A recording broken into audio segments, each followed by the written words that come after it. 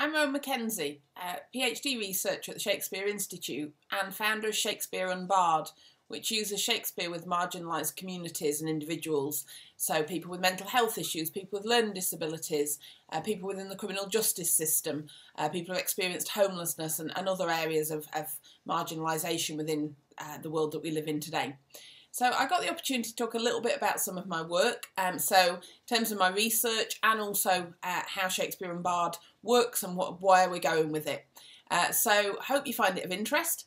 Um, for me, my research and, and, my PhD thesis, which is due in uh, the end of this year, is around creating space for Shakespeare in non-traditional settings. So using Shakespeare um, and looking at the theoretical frameworks of, of French spatial theory and how uh, spaces are altered and amended um, and changed by the, the, activities that go on within them. So how a room in a theatre um, can be a rehearsal room but also how a prison library can be a rehearsal room, how a, a room in a university building can be a rehearsal room, and how actually all of those things uh, become less important and are changed and, and altered, not just during well, the time that activity goes on, but on an ongoing basis. Now it changes people's perceptions and how Shakespeare can be used to, to bring to life the heterotopic opportunities of theatre and to often give voice to those people who may be marginalised by society for a whole raft of different reasons and previously maybe couldn't find their own voices, but how Shakespeare can give them a way of being heard in a way that society deems acceptable, um, but also in a way that society stops and takes notice. And for me, that's really important. And also giving people the ability to to build their own self-confidence, to overcome a lot of the traumas that maybe they've experienced, to be able to find that way of articulating their inner thoughts and feelings and to build emotional resilience. Um, and as I say, to give them a, a, a, future that, that looks at the opportunities that they may have. Um, in the course of my research, I've been really fortunate and I've got to work with some amazing companies. Um, so I've worked with Flute Theatre, both in the UK and also spent some time in Barcelona a few years ago. So working with Kelly Hunter and her talented actors with uh, marginalised audiences, people with learning disabilities on the autism spectrum. Um, I'm Shakespeare consultant for Blue Apple Theatre down in Winchester, who are entirely learning disabled uh, theatre company and do some fabulous productions. So worked with them closely last year on their version of The Tempest. Um, worked with uh, organisations that have worked with people with mental health issues, so uh, companies like Out of Character up in York, um, and also working a lot with uh, psychology services in various prisons to really help to use Shakespeare to, to help people with mental health problems. Um, but one of my big passions is working directly as a theatre practitioner in prisons in England. Um, so that's where Shakespeare Unbard was founded from. Um, and I have the privilege of working in a number of, of UK prisons, so three at the moment, um, but that looks like it might be growing as we go forward and once we come through the COVID crisis. Um, and I certainly hope that it does because it, it brings to life some amazing uh, changes for people. So my first uh, long-term uh, prison engagement was in HMP Gartree down in Leicestershire. Um, where I got the opportunity to go in and to set up a fairly short-term project that the National Research Council approved, looking at whether or not we could put on a really shortened production of Macbeth, so 30-40 minutes in length. Um, that went so well that in October 2018 the Governor stood up at the end uh, when we received our standing ovation, um, not of the time frame that, that Michael uh, talks about in his video, we didn't have uh, 18 minutes I'm afraid, but we did have everybody on their feet um, and applauding them. Um, so the Governor stood up and said, right, this project has come to an end. Um, there was this horrible sinking feeling in the pit of my stomach. I, I think the, the actors felt the same. Um, and she said, and we now have a drama group as part of our normal regime. So from that, the guys spoke to me about, well, can we create a theatre company? Um, so that's exactly what we did. So it's a completely collaboratively owned theatre company, um, owned equally between myself um, and 15 other people. Um, the difference is they're serving life sentences. Um, however, each of us has an equal voice and each of us has an equal um, opinion. So we work together. So there's um, 14 men and one transgender lady in the group um, and myself. And we work together to choose plays, ad adapt them, edit them, rehearse them and then put on performances. So during our two and a half years together so far, we've worked on Macbeth, uh, we delivered Julius Caesar, which was really interesting, um, trying to work on, on how to get your actors to riot in a prison not something I ever thought I'd do, um, and neither running around wearing a toga um, fashioned out of a prison bed sheet, but I can say I've done it. Um, and then we went on, so they chose uh, The Merchant of Venice as their third production. And I'd kind of challenged back and said, come on a minute, guys, religious unrest and, and, and you know, um, is it something we want to tackle in prison? And their response was, yeah, absolutely, because it's not about Shylock being a Jew for us. It's about Shylock being shunned by society. So actually, our Shylock wasn't um, a Jew. He was an individual who'd been released, having a life sentence, um, and talking about how actually society judged him for that. So the issue between him and Antonio came about from uh, some previous uh, criminal behaviour that had happened before he went to prison. Um, Jessica hated him not because um, of any other reason than the fact he wasn't there when she was growing up.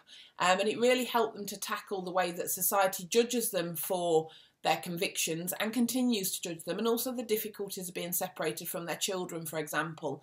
Um, and our scriptwriter is incredibly talented, um, did say in an interview that was in our programme that this really was a love letter to his children. Um, and I'd like to show you just a, a short excerpt from the, the prologue of our play, which opened with Shylock stood there holding his bag of belongings um, at the door of the prison being released. So we had two officers who were actually releasing him and telling him that's it. His sentence was, he'd served his, his custodial sentence. He was being released now on a, a long-term life sentence. Um, and he stood there and spoke these words to the audience. I think they're really powerful. Too many years have passed me by. Too many losses made me wonder why. To reflect on my actions and their cost. Photos on a wall, reminders of all I'd lost. The price to pay far too high, yet I pay only the least part of it. Those left outside take the biggest hit. They suffer the most and they pay the real cost. Children's tears as they sit on visits, each one a sad memory elicits.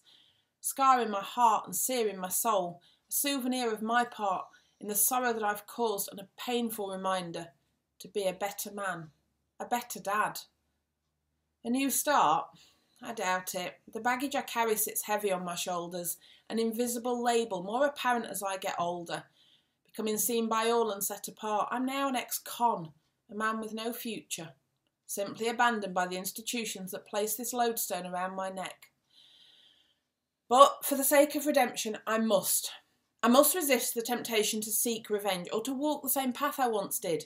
Instead, I need to bask in the love that a child bears for their father, Try harder, do better, go farther than those who go furthest to prove that I deserve such a love. I must move forward no matter what the load, no matter what burden is laid or title bestowed, I shall begin anew. And with this, we invited our audience to understand the world from Shylock's perspective, to understand how it feels to be shunned. Um, and I think it really brought things to life. Um, and I think through using Shakespeare, it gives people an opportunity to draw on that cultural capital, to draw on those famous speeches. And, and we adapted, for example, Shylock's famous speech about, you know, if you prick me, do I not bleed? Um, and stood there talking about that, actually we still have more similarities than differences as human beings. Um, we've, we've had a, a similar experience in um, HMP Stafford, where I started in uh, February 2019 and where uh, Emergency Shakespeare was founded. So that's a different dynamic altogether. It's a different group of people serving very different sentence lengths. Um, but again, we've created a community where everybody's voice is heard, everybody has the opportunity to bring Shakespeare to life. And in that particular um, company, we uh, performed our first production of Macbeth, but brought right up to date into a modern theatre company where unfortunately um, the actor was trying to um, make the lead actor ill so he could take over from understudy and step up into the main role. Got the um, uh, proportions wrong of this poison that he poured in his drink and killed him off. So our Macbeth actually started quite unwillingly. He didn't mean to kill someone. Um, but we really saw that come to life, and it was great to have the governor, who's a huge advocate, and actually contacted me to, to start the theatre company there, um, playing a cameo role, and to have officers involved, and, and really to, to start to build some, some amazing bridges, um, and again to challenge people's perceptions and to have people talk about how their families were proud of them often for the first time since they were incarcerated or since they'd been arrested for whatever uh, index offence they'd committed. So for me, Shakespeare gives people that opportunity to bring things to life. Um, and in both of those prisons um, and also in HMP Wakefield where I now work, we're raring to go as soon as we can get back in. Um, so in um, the Gallowfield Players, we'll soon be working on Sycorax's Storm, which is the story before the Tempest. So it's what happened before that sea storm that we all know and, and love. Um, in uh, Emergency Shakespeare in Stafford, we'll be working on uh, Othello. So we just finished The Merry Wives of Windsor there, and we, are moving on to looking at Othello um, and issues of, of prejudice and, and racial uh, hatred and so on. Um, and it's just a way of of giving people an opportunity to have a voice. Um, and I think on that basis, I'd really like to just finish off with some words from one of the actors um, in the Gallowfield Players who talks about experiencing freedom within the high security estate. Um, in a recent conversation, I was asked why would I want to attend a prison drama group? Was it not embarrassing to stand up on stage and perform in front of people? I could only answer each part of this inquiry in turn. And firstly, unless you ever attend the group, it's difficult, perhaps even impossible, to grasp the depth of feeling that's attached to it by all involved. For a few short hours every week, we are free. Although physically we remain within the boundaries of the prison, our spirits soar far above the walls and fences. Our minds are so involved in what we do that we could be in any room, on any stage, anywhere in the world. This is a true sense of freedom, and one that's rarely found anywhere in life, let alone within the high security estate. It offers each of us a few brief moments of nirvana. The weekly group provides a safe and supportive space in which we can express ourselves. It is a space in which honesty exists, and the truth is not used as a weapon to beat us down, but instead to empower, to encourage each and every one of us involved. We get the opportunity to be occasionally irreverent without the fear of institutional retribution, and our combined coping mechanism of gallows humour is appreciated as humour, not as some manifestation of criminal deviancy. Our weekly sessions allow us to have an opinion and a voice so that it can be heard. Not all of our ideas are achievable, but in the group they're considered, and this alone helps build confidence and raise self esteem. We are treated as equals, as people, and this is often an alien concept within the penal system.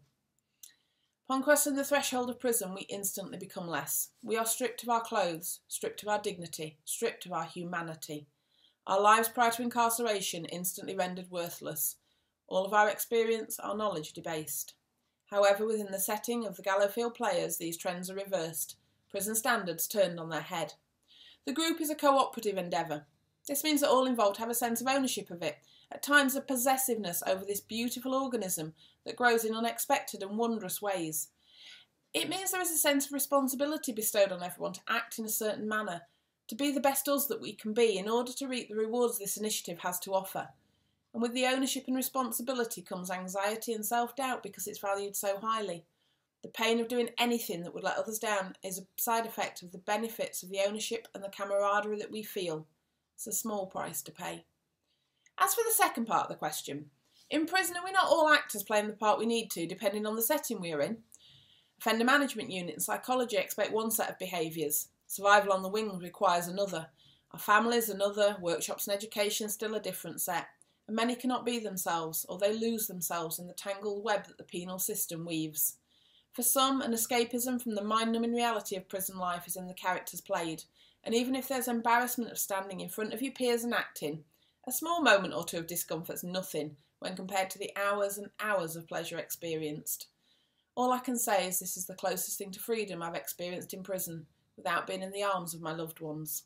I think it's really important to, to hear the words um, spoken by some of the actors, um, and it's for that reason that um, whilst we're out um, during the COVID uh, crisis, I've been working really hard to send in activities for the actors and to get them engaged so we're rehearsing remotely if that's possible. Um, they're behind their cell doors at the moment, unfortunately, to, to make sure that we can keep um, the pandemic under some form of control in the prison system. And it's really challenging to be separated from them um, on such a, an ongoing basis. But one of the things we have been doing, say, is creating these activities um, that we can all do together and that we can share. And we've even managed to, to edit a whole script while we've been separated. Um, but we've also been producing packs, um, so collaboratively. I've done a lot of the work, but we've had illustrations produced by by uh, some of the actors, um, and we've also had activities suggested by them and some reflections on the plays. Um, and those packs are going back into every prison in England Wales and Scotland um, and making things available for people to use their creativity. And we're, we're pitching them at three different levels. So we've got Pack 1, which is aimed at those who maybe English isn't their first language or maybe literacy is an issue. A lot of the, the responses are creative. Um, we've got the middle pack, so pack two, which is looking at maybe people who can read a newspaper without any trouble. Um, and they're maybe starting to do some written um, explorations of, of uh, the stories and narratives of Shakespeare. Um, and then pack three for those people who maybe are more engaged with Shakespeare or want to be more engaged and actually want something a little bit more intellectually challenging. So they're we're using the, the play, but we're then taking maybe some speeches, some scenes out of that, and actually getting them to write back to it or to translate into modern English. Things that hopefully, whilst they're behind their doors and they're physically confined more than they've ever been, they're in a position where they can mentally free themselves. And I think for me, that's what Shakespeare gives. Um, it gives people the opportunity to say, whilst my physical restrictions and um, my physical incarceration, whether that be actual um, literal incarceration or whether that be mentally because of my mental health challenges or because of learning disabilities or because of, of the fact that I'm ostracised by society. Shakespeare gives me a way to find my voice, to build my resilience, and to be the person that deep down inside I know that I can be. And I'm hoping that that's what Shakespeare Unbard brings to the, the men and women that I work with and that will continue to do so. Thank you very much.